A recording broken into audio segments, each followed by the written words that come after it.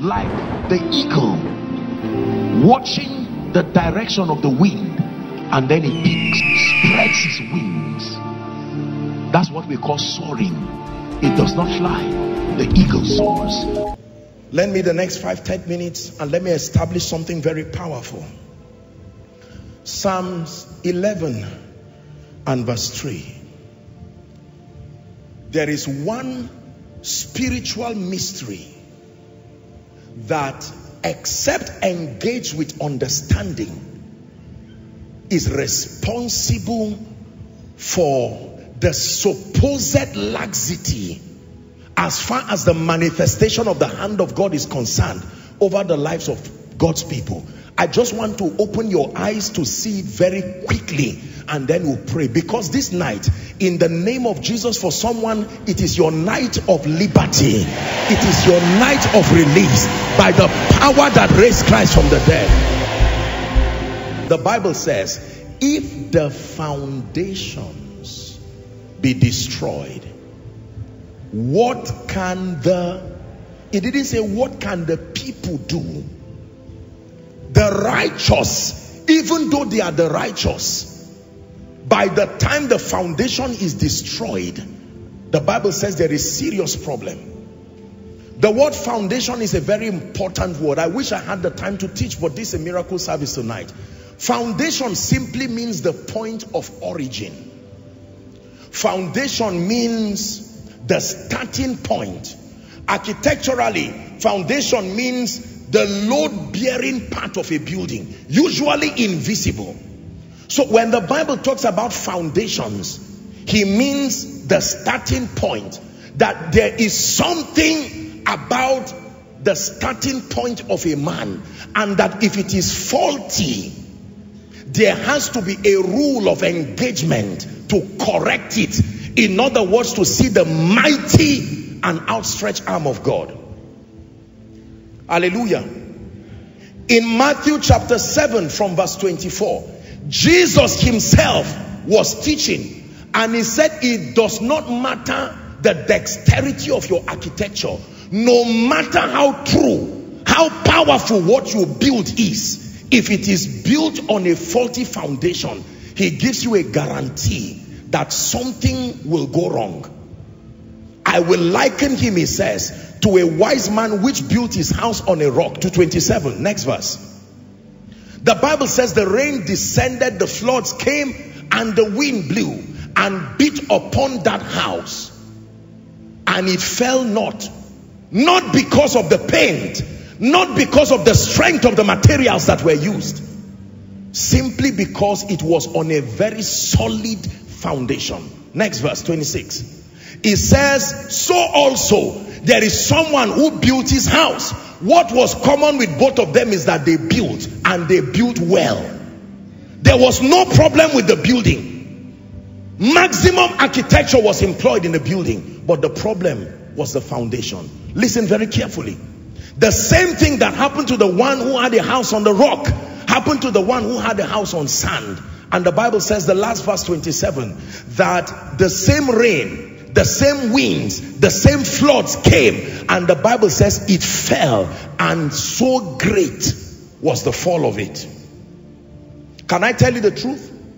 Faulty spiritual foundations have prophetic spiritual implications to the point that it can seem to cripple the hand of God over the life of a man. Most believers do not understand that the realm of the spirit has a predefined modus operandi. And if you do not know how the realm of the spirit operates, you can keep wishing for things to happen and keep being embarrassed forever. The psalmist said, listen, if I keep using emotions and I keep complaining and I keep grumbling, I may not receive any result. But I need to drop all this aside and say, have respect for the covenant. Not just my tears, not just what I feel, not just my prayer request. Are we together? When Hezekiah in chapter 38 of Isaiah, when Isaiah came and prophesied to him and said, put your house in order, you will not recover. The Bible says he turned his face to the wall and said, remember how I have walked diligently before you in truth and with a perfect heart. And I have done that which is good in your sight. He didn't say, remember, I am a king. He needed to use a basis to say, I can't die, not based on this. There are rules of engagement in this kingdom. Now, let me tell you the truth. As powerful as God is, as powerful and mighty as God is, he didn't cast sin out of man. Why will God seem to be so helpless when he was the one who created man? He was the one who created the devil that caused man to fall. If God wiped the whole, whole earth and heaven, why did he not just wipe Satan away and start afresh? If I were God, why would I go through the labor of coming to die? As creator, he was not co-creator, he was creator and is creator. You thought he would just say, sin, get out of man. Satan, vanish. Dematerialize and go away. I am God. Is still within his power. Is there anything too hard? But even God had to submit to the modus operandi of the spirit. Are we together now? Negotiated and sent Jesus. Jesus came through the womb of a virgin, walked 30 years, died, was buried, went to the grave, all to save man's sin. Was it that hard for God? When you understand that, you will stop the realm of wishing and hoping that things will change. God, you are mighty. It does not take you anything to lift me. You are right, but you will still remain in that situation because that is not what compels the mighty hand of God. Let me tell you the truth. God is touched by his love, but he arises based on his honor to the modus operandi of the realm of the spirit. Have respect unto the covenant. For the dark places of the earth are a habitation of cruelty. Many of us come from families that have fraternized with darkness foundationally Many of us right now are sitting on all kinds of demonic things that we have not engaged the word of God and spiritual understanding to bring liberty practically. And yet we keep saying it does not matter. And our lives keep showing that there is a legitimate ground for the continuity of certain things. Please listen carefully. I, when it has to do with oppression and the rules of the spirit, it does not care whether you are a preacher. It does not care whether you are sincere. The Bible says the ones who will be asking questions are even the righteous. That if the foundation be destroyed, it is the righteous who will even be complaining. Hallelujah. For instance, in Joshua chapter 6, from verse 26, when Joshua destroyed Jericho, he made a pronouncement by the Spirit. Listen carefully. Joshua adjured them at that time saying, Cursed be the man before the Lord that rises up and builded this city Jericho. He said, He shall lay the foundation in his firstborn, and in his youngest son shall he set up the gates of it. Joshua made a pronouncement that anybody that rises to rebuild Jericho again, as that person lays the foundation, he will lay it on the life of his firstborn and as he completes it he will complete it on the life of his lastborn. First kings chapter 16 let me show you something. Ahab verse 33 now. The man called ahab the bible says he made a grove and ahab did more to provoke the lord god of israel to anger than all the kings of israel that were before him. Read verse 34 please or let me just read it and you listen. He said, in his days did Hiel, the Bethelite, build Jericho. Is that in your Bible? The Bible says he laid the foundation in Abiram, his firstborn. If you were the firstborn of that man, it was not your fault to be the firstborn. You just know that as soon as they started that project, a mysterious disease will come upon you and you'll be wondering what did I do wrong? Not knowing that a speaking is looking for you. And you may go and say but medical doctors will check you. What is wrong? With the machine cannot diagnose what is wrong. Not knowing that the person who spoke has died yet the prophetic word is still in force. Abiram started getting mysteriously sick until he died the firstborn and the man still refused in defiance he set up the gate thereof now, the Bible does not tell us whether the man was aware of the prophecy or not. Whether he was aware or he was not aware, as far as the prophecy was concerned, whoever triggers it, let it work. Ah. Please listen. Please listen. Please listen. Please listen. Because this is not about being sincere and insincere. What did Abiram do to die? Please talk to me. Did he kill anybody? Did he look for anybody's trouble? His only offense was he was born from a family that decided to fight the prophetic word.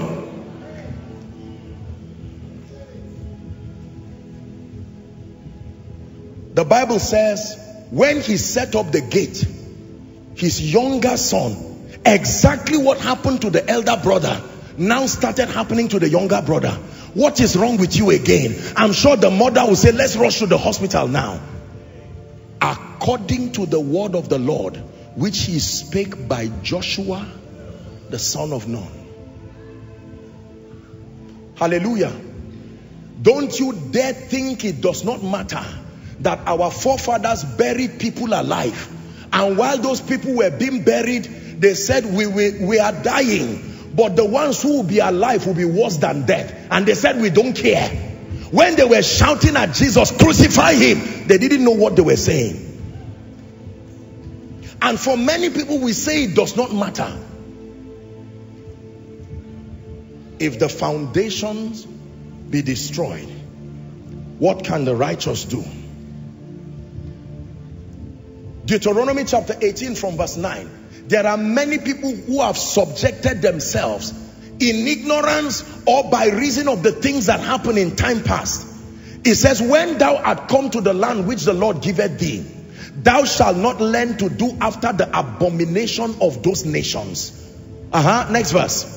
It says, there shall not be found among you anyone that maketh his son or his daughter to pass through fire or that useth divination or an observer of times an enchanter a witch to 12 11 please or a charmer a consultant with familiar spirit or a wizard a necromancer verse 12 for all that do these things are an abomination unto the Lord and because of these abominations the Lord thy God will drive them out from before thee. Hallelujah I think I shared a story here in Koinonia, and let me say it quickly before we begin to pray, about someone who, a young lady, a, a young woman who wanted a child desperately. And she went to somebody and the person said, well, I know what to do and you will have a child. But that when this child is 20, 20 on the dot, make sure you return this child back for some kind of sacrifice that will be done. And the woman looked at the old man and said, 20 years from now, you probably will be dead. She pointed at a tiny boy who was playing there and said, this boy will be alive. He's the one who will be here. This is a case that I handled. It's not a story they told me. When this lady was 20 on the dot, may God help you to come and stand near her and say you like her. You see what will happen to you. You came innocently. Oh, it's not like any you are bad, you are not bad. Church born again person just came and things started going haywire.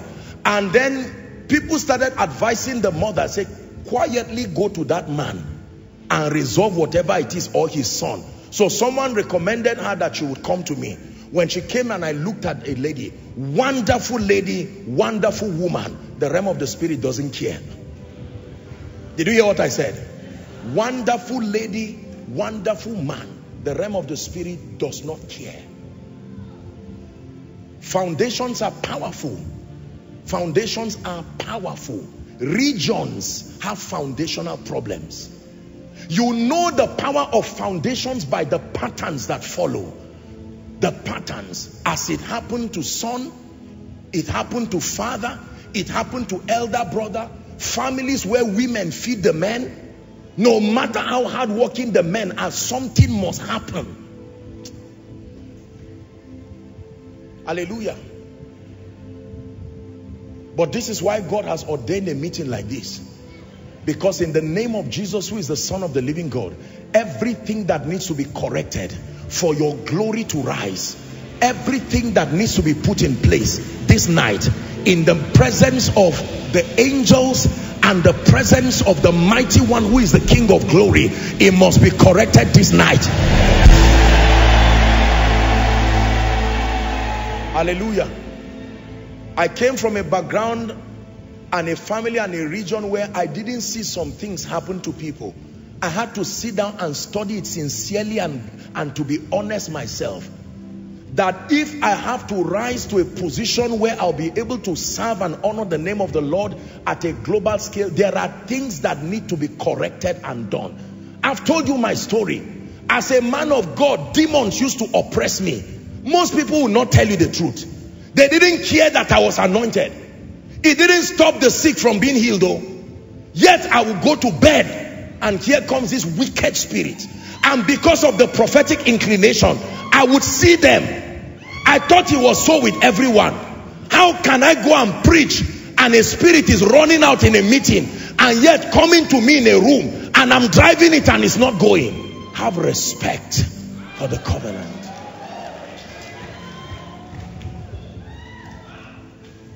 I know one, a very proud gentleman years ago. He walked into my room. I used to counsel in a small room that time. And he walked to me and I saw a spirit standing behind him. And he was sharing with me some of his challenges. And I said can I pray for you? It looks like there's something. He said, no no no no I don't believe that. I said okay no problem. I'm sorry. Let me just pray. As I said in Jesus name the last thing that gentleman will remember was maybe like 30 or so minutes later on when he even recovered for the next three days he kept texting me what happened he said this is everything I believe I don't know where to start from Let me tell you the truth, foundations are real. Foundations are very, very real. Hallelujah. Foundations are real. You find patterns, you find all kinds of demonic things that seem to veto the efforts of men, regardless what they do. There are sincere men of God who have graces that should be speaking across the globes.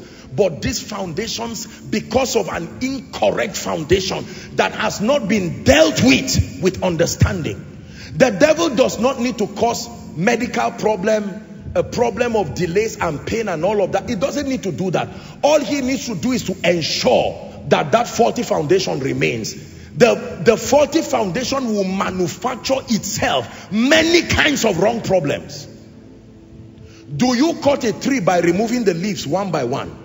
Think how burdensome that labor is. Foundation.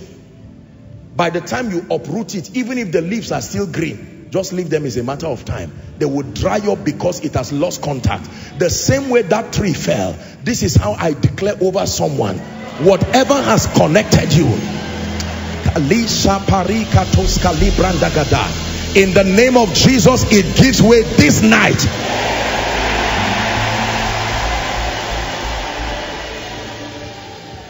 Listen carefully. This is someone's deliverance already oh.